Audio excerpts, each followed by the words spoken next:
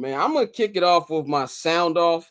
Uh, who uh one uh we gonna I, I'm tired. I got I'm shooting at another light skin nigga. See what y'all making me do to the light skin community. Two two two two of our members I I I, I got to talk about today. Um, but I got a, a very special video I want to play real quick before I get into my rant. Let's let, let's let's play this. We're gonna have a, a relentless approach to fix our weakness. We're gonna maintain great self self awareness of who we are. We're gonna solve problems with open communication and candor. And we're gonna consistently put players in position to succeed. And the last thing, the most important piece, is we're gonna take the North and never give it back. That was your Chicago Bears general manager Ryan Poles uh, almost three years ago. We're coming up on about two months from that being three years ago, January 25th, 2022, where he was introduced uh, to the Chicago media as the new general manager uh, in the media room. They still don't put us there. I don't know why they don't put us in that big old room they got. They got a lot of space over there. Uh, but that quote, when I saw it, I said head ass. Like I, I, I was it just sound like something I don't want to hear from a team that ain't dominated the Northern God knows how long. Now it looks even funnier. As I was watching the game yesterday, and I gotta give Bears fans credit because I was just looking at Soldier Field like maybe a couple minutes before the game started. You know, especially when I came down to you know the you know the the, the rat, not the but like the corridor, not the what's the word I'm looking for? Really, what a, what a fan sees at. I'm looking for the word. Um, that area. I haven't been down there in a long time. You know, I went to go holler at Mikey. You know, Mikey has some good seats too, by the way. Mikey has some real good seats. I was like, damn, they look nice over there. But he said, motherfuckers getting money over here. Yeah, yeah right, exactly. so, you know, when I was walking around the concourse, that's the word I was looking for. Walking around the concourse, seeing all the fans, I'm like, yo, win or lose, no matter what, this fan base is gonna always show up.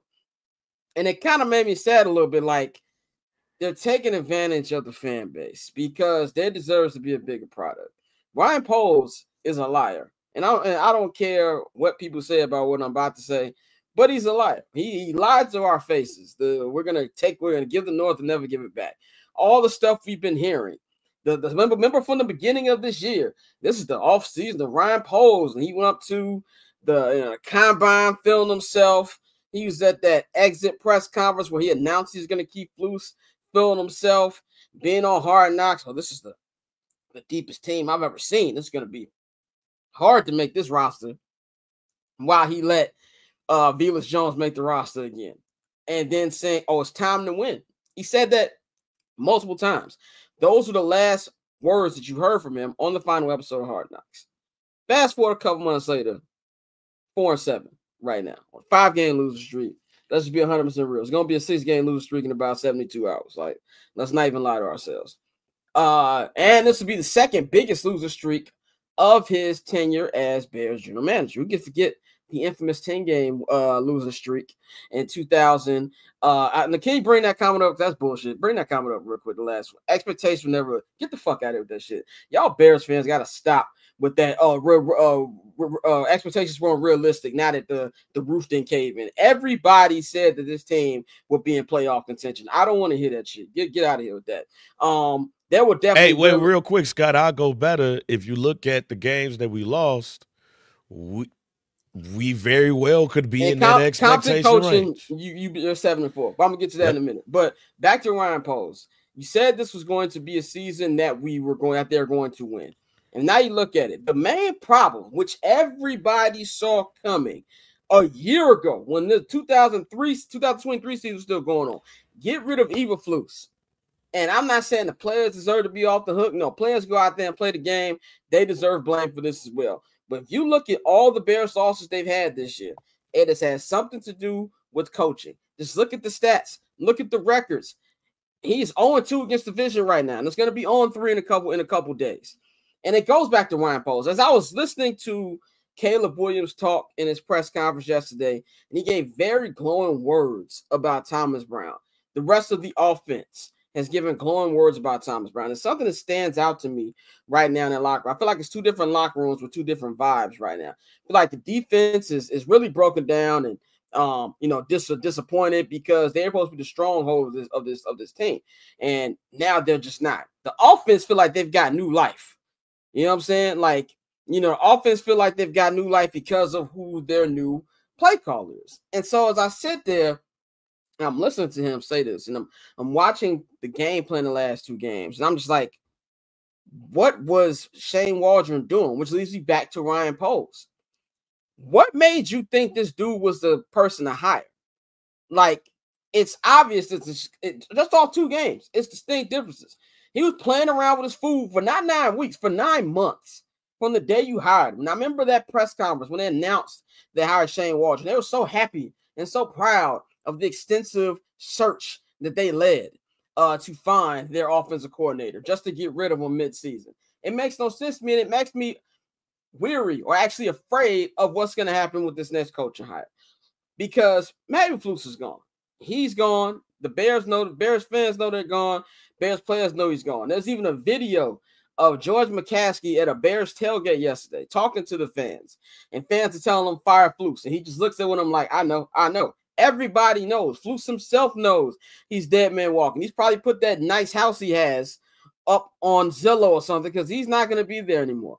The question here and the problem I have right now, I'm scared that no matter how well Caleb's been playing, that they're going to hire the wrong dude again. I've said this time and time again. As, as, as hard of a time as this franchise has had to find a good quarterback, they've had just as hard of a chance finding an actually good coach. There are three good coaches in the history of this 105 year organization. Really, two if you want to include just the modern era. No disrespect to George Halas, but in the Super Bowl era, they've only had two good coaches, Mike Ditka and Lovie Smith. And as great as Lovie Smith was, he was a company man. Let's keep it real. They saw what Mike Ditka was. They saw the loud, powerful personality, the the you know the that kind of football guy that you knew, who was just as popular off the field as he was on the field. No matter said, yo, I know you had the greatest decade in modern Bears history where you won a Super Bowl.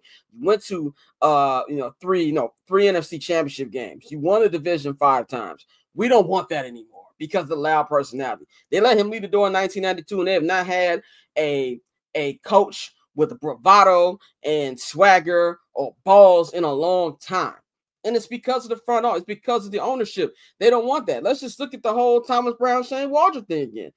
You know, uh, Flus didn't want Thomas Brown because he didn't want somebody who would challenge him. Now that he's putting up numbers and it looks like his job is actually going to be gone, now he wants to go up there and take credit for that. I found that funny yesterday when he was asked a question about the offense looking better. We know it's a collaborative process. No, it's not. And then today, trying to take credit for the Thomas Brown thing. So my thing here to Ryan Poles, if you don't get it right, you're looking like you're on fraud. We're giving you all this love for the DJ Moore trade that ended up being Caleb Williams. Awesome trade, amazing trade. But there's two things can be true at the same time. That also saved you from a different way of building the team. They didn't get Caleb Williams. They were just all right because they were bad. They got it because they got a trade that really everybody would accept outside of the, the, the Panthers. I don't know why they did that. And you see the other holes on this team. Look at the question marks from the people he drafted. I love Jaquan Brisker. I love Kyler Gordon. Neither one of them are all pros. Neither one of them are Pro Bowl. They can't stay on the field half the time. What has he really done to give the praise that he's given? And I've watched it. And we're sitting up here, we're sitting having the same conversations that we were having 12 months ago. Oh, let's look at the drafting. Let's look at we're talking about coaching again. I'm tired of it. I'm really, really getting tired of it. And what I'm also getting tired of is certain media trying to get mad at fans because they want to see some light in the tunnel with the way Caleb Williams is playing. Number one, the Bears never had a quarterback as good or as talented as Caleb Williams.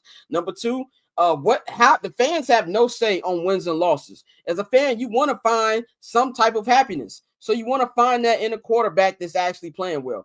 Don't get mad at them saying, oh, it's about wins. Yeah, it is about wins, but the fans don't control wins and losses. Tell the ownership that. Tell the front office that. That has nothing to do with fandom. And we can sit up here and talk about how great Caleb Williams is, and I think he's having a good rookie season. I think he's going to finish even better. I think this kid is a stud. But it's you, if you don't have the right coaching, they're going to be the ones a franchise who not ruined them because I think Caleb is beyond ruining at this point, but not getting everything they could out of him because you have idiots surrounding them. This is a big, big winner for this franchise. And I'm be honest, I have no faith in them getting it right. Any bit of uh bail that I used to shoot them is gone It is completely gone. They need to get the job done, and that's ultimately on the McCaskies, Kevin Warren, and Ryan Poles. So cool. So cool. Triple double hat trick, I know the code too. Ice trade, go for trade, yeah we cold too. Getting paper on these player haters, old news, money on the other line, so I'm not gonna hold you. Money on the other line, so I'm not gonna hold you. Money on the other line, the other line, so